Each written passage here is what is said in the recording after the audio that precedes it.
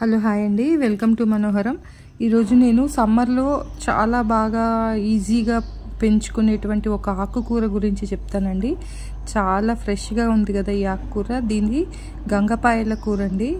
ఇది సమ్మర్లో చాలా ఈజీ ఈజీగా గ్రో అవుతుంది. ఇది చూడ్డానికి ఇట్లా కాడలు ఇలా రెడ్గా ఉంటాయి. ఆకులు కాండము అన్నీ కూడా కొంచెం దళసరిగా ఉంటాయి. దీనికి ఇట్లా పసుపు కలర్లో పువ్వులు పూస్తాయండి. ఇది తినడానికి చాలా టేస్టీగా ఉంటుందండి. దీంతో పప్పు చేసుకుంటారు పచ్చడి చేసుకుంటారు. పప్పులో మ్యాంగోను ఇది కలిపి చేసుకుంటే చాలా సూపర్ టేస్ట్ ఉంటుందండి అసలు. వర్ణించరానటువంటి టేస్ట్ చాలా బాగుంటుంది. దీంట్లో హెల్త్ బెనిఫిట్స్ కూడా అలాగే ఉన్నాయి. చాలా హెల్త్ బెనిఫిట్స్ ఉన్నాయండి దీంట్లో. దీనిలో ఏ విటమిన్ బి విటమిన్ ఉంటాయి చాలా ఎక్కువగా ఉంటాయి. తర్వాత ఐరన్ కాల్షియం అధికంగా ఉంటుంది. దీనివల్ల రోగనిరోధక శక్తి పెరుగుతుంది. దీన్ని రెగ్యులర్గా మన డైట్లో వాడినట్టయితే మంచి రోగనిరోధక శక్తి పెరుగుతుంది. ఇంకా చాలా హెల్త్ బెనిఫిట్స్ చాలా ఉన్నాయండి. దీన్ని రెగ్యులర్గా మనం డైట్లో చేర్చుకున్నట్టయితే సమ్మర్లో అయితే చాలా ఈజీగా ప్రాపగేట్ అవుతుంది ఇది. మనము గార్డెన్లో ఆవు పేడ తర్వాత గోడ్ మెన్యూర్ ఇవి వాడుతుంటాం కదా అవి వాడినప్పుడు ఇలాంటి మొక్కలన్నీ ఆటోమేటిక్గా వచ్చేస్తాయండి. ఈ సమ్మర్ టైంలో వాటంతట అవే వచ్చేస్తుంటాయి నాకు ఎప్పుడు గార్డెన్లో. చూడండి దాంట్లో సీడ్ పాడ్ రెడీ అయ్యి దాంట్లో ఎన్ని సీడ్స్ వస్తున్నాయో చూడండి. ఒక్క సీడ్ పాడ్లో చాలా అంటే చాలా సీడ్స్ వస్తాయి. మనం అలా సీడ్స్ని కూడా కలెక్ట్ చేసుకొని మళ్ళీ దాన్ని ప్రాపగేట్ చేసుకోవచ్చు. చూడండి ఒక్క సీడ్ పాట్లో ఆ బ్లాక్గా చిన్న చిన్న చుక్కల్లా కనిపిస్తున్నవన్నీ కూడా సీడ్స్.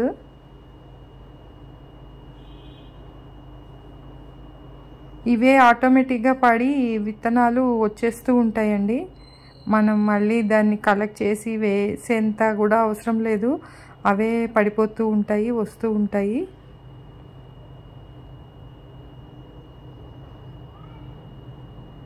నాకు గార్డెన్లో ప్ర ఇంచుమించు ప్రతి కుండీలోనూ వచ్చేస్తున్నాయండి ఇవి.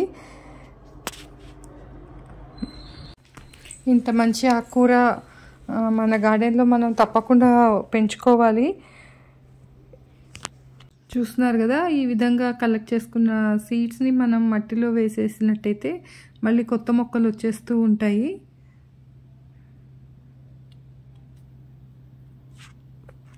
దీనికి పెస్ట్ అంటే మిల్లీ బగ్స్ వస్తాయి. తర్వాత పేనుబంక విపరీతంగా వస్తుంది. అలాగే ఒక ఆకుల వెనకాల ఒక పౌడర్ లాంటి ఒకటి పట్టేస్తూ ఉంటుందన్నమాట.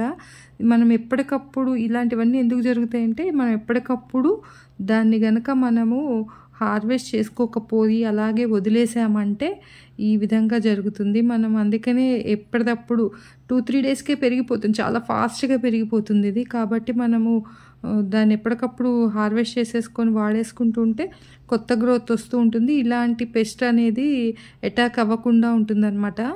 ఇక్కడ చూస్తున్నారు కదా ఇలానే విత్తనాలు ఇక్కడ ఈ చామంతి కుండీలో పడి ఎన్ని విత్తనాలు మొలకలు వచ్చాయో. ఇవన్నీ కొంచెం పెరిగాక మనము తీసేసుకొని వాడుకోవచ్చు. వే రూట్స్తో సహా కూడా తీసేసుకొని వాడుకోవచ్చు అనమాట దీనిని ఈ విధంగా కట్ చేసుకున్నట్టయితే మళ్ళీ కొత్తగా కింద కొత్తగా మళ్ళీ గ్రోత్ స్టార్ట్ అవుతుంది కదా మళ్ళీ ఒక టూ త్రీ డేస్లో అది వచ్చేస్తుంది అనమాట ఇప్పుడు చూడండి నేను అక్కడ దాకా ఇట్లా కట్ చేసేసాను. ఆ కింద మళ్ళీ కొత్త రూట్స్ అనేవి కొత్త షూట్స్ అనేవి స్టార్ట్ అవుతాయి. మళ్ళీ తొందరగా పెరిగిపోతాయి. మనం అలా మన గార్డెన్లో నిరంతరము ఈ ప్లాంట్ ఉంటూ ఉంటుందన్నమాట. దీన్ని ఎప్పటికప్పుడు హార్వెస్ట్ చేసుకోవడం మాత్రం చాలా ఇంపార్టెంట్ అండి. లేకపోతే మాత్రం ఇందాక మనం చెప్పుకున్నట్టు పెస్ట్ అటాక్ అనేది అయితే జరుగుతుంది. పేనుబంక విపరీతంగా ఆశిస్తుంది. దీనికి ఈ విధంగా ఎల్లో కలర్వి చిన్న చిన్న ఫ్లవర్స్ వస్తాయండి. అది ఈ ఈ గంగవాయిల కూర అనేది. అదే ఇంకొకటి ఫ్లవర్స్ పూస్తాయి.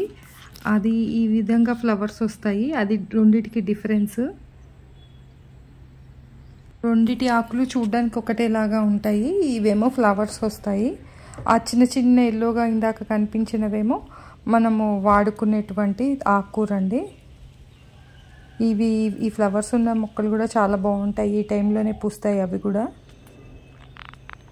ఈరోజు ఈ గంగాబాయిల కూరని నేను ఇదంతా కోసుకున్నానండి. ఇంకా చాలా ఉంది కోసుకునేది. చాలా ఈజీగా ఈ సమ్మర్ అంతా కూడా మనం బాగా ఎంజాయ్ చేయొచ్చు. చాలా ఈజీగా పెరుగుతుంది కాబట్టి ప్లాంట్. మనం తప్పకుండా ఇది మన గార్డెన్లో చేర్చుకుందాము. దీని నుంచి వచ్చే బెనిఫిట్స్ అన్నీ మనం తీసుకుందాము తప్పకుండా. మీకు కనుక ఈ వీడియో నచ్చినట్టయితే ఛానల్ని సబ్స్క్రైబ్ చేసుకోవడం మాత్రం మర్చిపోకండి.